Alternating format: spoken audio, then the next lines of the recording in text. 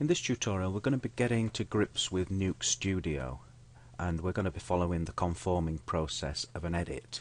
Um, in this particular case um, I've got Premiere open and I've just got this little short seven shot sequence in here and it, it combines a, a, couple of different things like a potential visual effects shot there something there where we could maybe flip that around and maybe a little bit of color correction so it is going to enable us to uh, to exploit the uh, the scope of Nuke Studio um, these files are low resolution QuickTimes that have been done. I think they're uh, something like 720 by 405, so they are in 16:9 aspect ratio, but they're in some low resolution format. And it's not unusual for an editing department when they're working in the offline phase to be working with low resolution versions of the masters. And that's kind of the workflow that I'm trying to show here, even though I'm, I'm not working with massive files. Uh, I'm, uh, it, and I just want to get this process across. So the editing department would be working on this. They would um, they would get to the point where their edit would be signed off by the director and production team, and that would be known as picture lock. At that point, the edit can be transformed to the conforming phase of the project. Now, this tutorial essentially is going to follow that process. Now the edit is transferred via a proprietary file format called the Edit Decision List or EDL and there's a or should I say it's a file, um, and it's a convention, there are two or three different file formats that can be used for it. But essentially, they're the same. They're a text-based representation of the edit, and they refer to the name of each piece of footage, all the cuts, their position on the timeline, any speed changes, any transitions, etc., are all in encapsulated into this text file. Okay, so we're in uh, we're we're in Premiere, and exporting uh, an EDL is very simple. Uh, if we come to the export tab, we'll need to make sure that the timeline's selected. We come down to the export.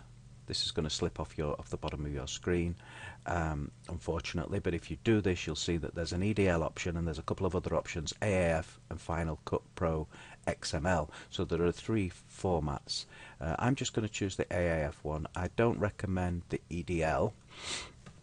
Um, it it's an old format. It tends not to be that reliable, particularly dealing with speed changes, transitions, and it only allows you to export one track at a time.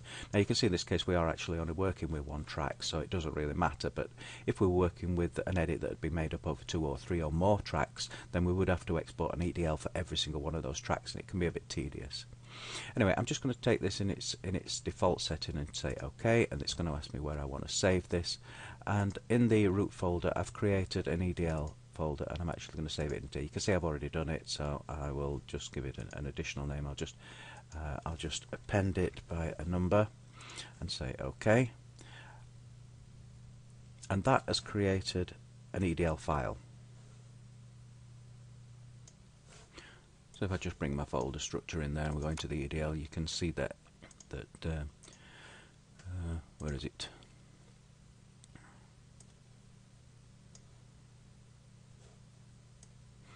I think, yeah, there it is, look, 0, 1. So that's the AAF. You can see there's also an XML one in there, which is another form of an edit decision list. And then there's the standard EDL one. So I've actually been exporting these out. Anyway, we progress. So I'll close Premiere down and we can now start to work in the Nuke Studio. So this is a, a Nuke Studio file that, that's opened and I'm going to comment. This was formerly Hiero, Hiero uh, I'm going to come into this and um, I'm going to create a new project. I've actually created one accidentally there. But anyway. So what I'm, the first step I'm going to do is I'm going to import my EDL. So I'm going to come to File. I'm going to come down to Import. Unfortunately, this is um, I'm going to be uh, confined by the screen capture software here, so it's going to be quite tricky. But you can see there that's the EDL XML AAF format. I'm going to choose that, and now it requires me to navigate to my to my folder. I can actually set this up uh, to, to, to go to the default, which I'll, I'll probably do before, uh, before we progress much more. So I'm going to come into my project, into the EDLs, and this is the EDL that I've just created. Okay, now you can see that straight away it's actually brought in the edit, it's conformed the edit. Hopefully that's exactly the same as the original, we'll check that in a bit. Um, and it's even brought in the images. Now it doesn't always do that. If it doesn't bring in the images then I will quickly show you what to do. Uh, in fact, it's it's brought in the images, but it's brought them in at the wrong. It's brought in the masters rather than the um, rather than the proxies, and I want to actually show that process. So I'm actually going to I'm actually going to take the video offline just by deleting that out. So you can see now that the timeline's changed. All the clips are offline. Uh, and I'm doing that really just to show you how to bring the video in if it doesn't automatically come in with the ex with the EDL. So I'm going to change my workspace over to the conforming workspace. Uh, again, I'm just going to have to quickly bob that back into my screen capture area. Unfortunately, when I switch workspaces, that's likely to keep happening. Unfortunately, I do apologise for that. Okay, we can see the difference with the conforming workspaces that we see effectively we see our EDL, we see all the, all the clips brought in there with all their relevant metadata. Okay, we can still see that our edits here. Now to bring in our, our media, we just come to Match Media, and then we navigate to our. I will definitely sort this out. Uh, we navigate to our our project and into our plates, and here's our proxies, and we'll say open uh, this gives us some rules about about how we actually sort of conform. Uh, we'll leave those as default for now. We can include and exclude particular patterns of, of, of, uh, of suffixes. But I'm just going to say OK, and you can see now that this has actually brought this in. And you can see now that these files are 720 by 405. Now we are actually going to conform these by upresing these back to the back to the HD ones. But typically our project may well come in like this, so it may well come in at this kind of format with the, I'm just looking down this list to see if that 720.405 format's in, which it isn't. So if I was work, if I needed to work for a while in that format before actually upresing, then I can choose custom, which is just off the screen capture, and I can set it up in here. So just going to double check that I haven't already created a proxy. No, I haven't. So I'll just create myself a proxy format and I will tell it to be 720 by 405 and we can now use that format and you can see the edit in place there drawing on the low resolution proxy versions of the edit which would have been used in the offline phase in Premiere. So the next stage of the conforming process would be to upres, upres this back to the master back to the masters. Uh, this would normally be a stage where we went up to uh, the highest possible resolution, the highest res eye scans of our uh, of our plate footage. In this particular case, we've just kind of done it in reverse, so we're, we're just going to do that again. So I'm just going to select my footage and uh, and press delete and delete that out, which takes all the clips offline. And then in the conform workspace, just choose match media, and this time I'm just going to go to my master master footage and choose open. And they will come in now you can see that these are the 1920 by 1080s so I just need to put my workspace back over to the full HD format which is there okay? So that is the process of upresing. One thing that this process does show is how important it is to maintain good folder and file uh, management because uh, because essentially the proxy footage and the masters are named identically and they've got exactly the same folder structure. We could upres uh, if if they were different, but it would be a beast of a job. Whereas because they're named the same, then everything just swaps out. So these clip references, these containers, are now just they're now just holding the high resolution version of the same thing. They haven't had to sort of st start to redefine their paths and the file names and the file extensions, etc. So this is a real. It's really important that you maintain good file and folder disciplines when you're actually following these kind of processes. Now, one thing that isn't particularly very intuitive or user-friendly is the naming conventions that have been applied to these clips. If we just stretch this out a little bit, you can see that these clips are basically taking their, their name from the metadata that's generated by the camera during the acquisition process um, which um, each camera has their own rhymes and reasons for generating this, but that's obviously transferred into the image sequence, and therefore that's actually what's been brought in. Now, in terms of editing, it's not very helpful to us to have that kind of uh, that of naming convention. So we want to be able to find a way of doing this. Now, it's actually quite straightforward. Uh, I'm just going to marquee select all my clips. I could have done it in the conform workspace as well. I'm just going to flip over to the editorial workspace. Unfortunately, again, that flips me back to my full screen, so I do apologise. This is a limitation of the screen capture software. Um, or an incompa incompatibility, should I say, between uh, Nuke Studio and my screen capture software. So I'm just going to come down to my edit, make sure all of my clips are selected. So marquee select them all. Now I'm going to right click, I'm going to come to editorial, which again I apologize is just off the screen, and I'm going to, going to come down to rename shots. And that brings up this rename shot dialog, and this is really helpful. Uh, by default, it would probably look like this. Uh, so it would basically be appending the name of the of the shot by four-digit number, um, and that's obviously making provision for a, a, a sequence which would literally have hundreds of clips. Um, in our case, we are only we've only got seven clips, so we don't need. Uh, we we could effectively do this just with one with one um, with one digit, but we'll we'll, we'll use two. Um, we can also tell it what frame and what uh, number to start. So at the moment it's set to 10. For, for example, with some uh, editing workflows, they start their they start their number in at 2001. In our case, we'll just set that to one, and then the next thing is how many we increment our numbers by. This is set to increment by 10, which means we would get 1, 11, 21, 31, etc. Uh, I'm going to leave this at 1 so that we get a shot 1, 2, 3, 4, 5, 6, etc.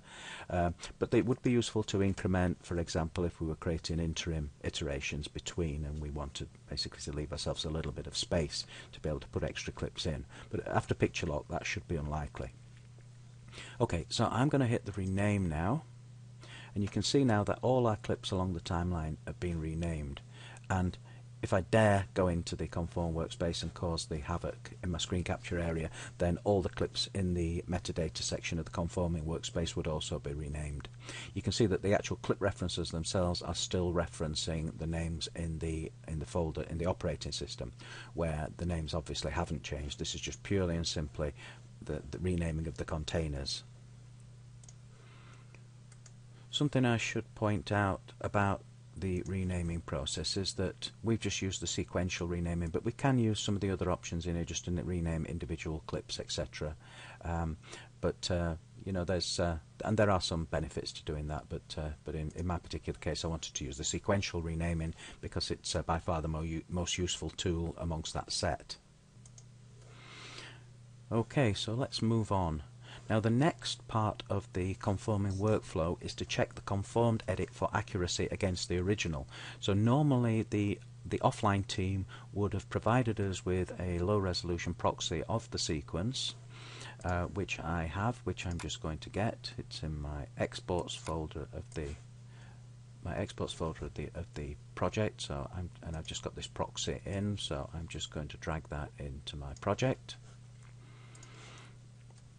and then I'm going to take this and I'm going to drag it down onto my timeline and I'll just dock it at the at the front. Okay. So what we want to do now is we want to be able to check our original against and one of the one of the first things we'll be looking for is to make sure they're the same length. And you can see there that thankfully they are. I happen to know that the proxy is is identical to the uh, to, to the e, to the what the EDL so I'm just going to offset it a little bit just so that I can give you a proof of concept. What we need to be able to do here is we need, we need to be able to do a like for like check against these two. And, it, and we can actually do this in Nuke Studio because Nuke Studio allows us to put two tracks of video onto the buffer. So to do this, I'm just going to choose my my, com my conformed edit, and I'm just going to type one to set that to the one side of the buffer, and I'm going to choose my uh, my proxy and type number two. You can see we get this little widget appear here, um, and what we've got here, if I just expand this a little bit, is we've got a few little tools here, and this is very similar to in Nuke, which allows us to allow us to do like like for like consider con, uh, comparisons. So I'm just going to say, for example, switch to horizontal, and now we can see both tracks side by side. Now the reason why we're not seeing the uh, the proxy, which I've put into track 2, so it's over here, is because uh, we're currently over here. But you see that as I come across, because I've offset the clip, then obviously it doesn't start at the beginning.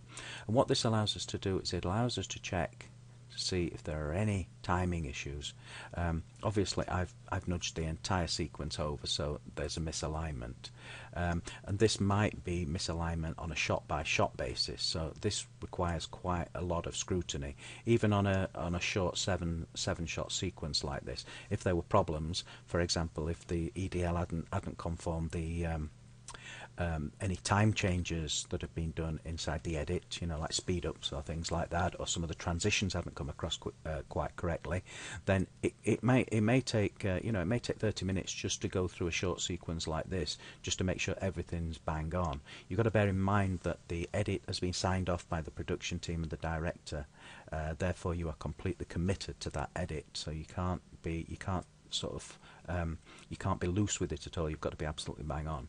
So in this particular case, we could use a variety of different things to uh, to to realign it. So we could use retiming tools inside the editorial suite in um, in in, in Nuke Studio, or we could use transforms, for example, if something needed to be just positioned, repositioned, or rescaled slightly um, and, and so on and so forth. In this particular case, we know that these align perfectly, so if I just bring that over, then we can check now and we can see that they're identical.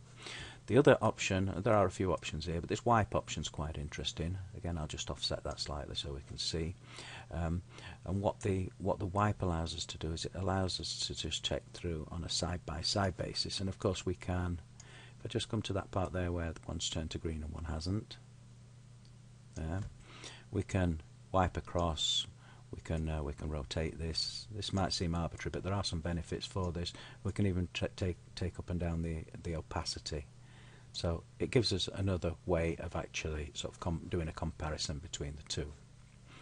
Anyway I'm going to actually take that. I'm going to assume that this is correct. In this case it's so easy. I've just got to drop it drop it there like that. And then I can uh, I can perform an identical sort of check to make sure that's okay. And I know it's fine. So I'm going to delete out the the proxy now um, so that we uh, so and we can go back to our we can go back to our original workflow. So what I want to do now is I just want to um, introduce the the uh, the Nuke Studio soft effects. Uh, so what I'm going to do is I'm going to pick on my first hand shot which directorial I know needs to be flipped and I'm going to use a soft effect to do that. Now the soft effects are located how am I going to get at these within the screen capture? I'll probably have to come up. Okay, so the the soft effects are, are contained within this effects menu. Here you can see that we've got a whole bunch of a kind of a whole bunch of different sort of simple tools, sort of a subset of the tools that exist within Nuke. Okay, I'm going to choose transform in this particular case because I know that this clip needs to be uh, flipped. Um, and the easiest way to do this is to just is to just set it to minus one on the y on the on the width. Okay, and that has now added this little interim uh, strip on the timeline, which is a soft effect. Okay, you can see that by double clicking on it we can get back at those parameters and make changes to them. So this is something that is uh, non-destructive. It can be adjusted at any time. Uh, we can also keyframe these things as you might expect. So, for example, let's say, for for argument's sake, that we want to uh, we want to do an optical an a post-production optical effect on this. We want to zoom in on it. So, what we'll do with this is that we will apply another soft effect and another transform and what we will do is that we'll come across maybe to around the say around the five second point and we will bring the um, we'll bring the scale up somewhere like there. What we can do is that we can keyframe this. So we can come in to set key and we can come back to the very beginning and then just bring our scale back down to its original. So what we've now got is a scale up over time so they're just a couple of the uh, tricks that are available to us in using soft effects. What I'm going to do now is I'm just going to select this soft effect and copy it using Control C and then I'm going to paste it onto the other two clips in my sequence that involve this hand flip and you can see now that that as uh, that's applied now to all three. Okay, Now we're about 20 minutes into this tutorial so I think I'm going to break it at this point. Um, so I'm going to create a second part to this tutorial where we're actually going to look at how we can break out shots like this for visual effects and how we can actually create effectively a linking system. For those of you that have used After Effects um, and Premiere or After Effects and Photoshop you'll know that you can dynamically link between the two. Well what we'll look at is how we can actually create a similar relationship between Nuke Studio and Nuke Scripts. So we will tackle that in the, in the second part of this tutorial.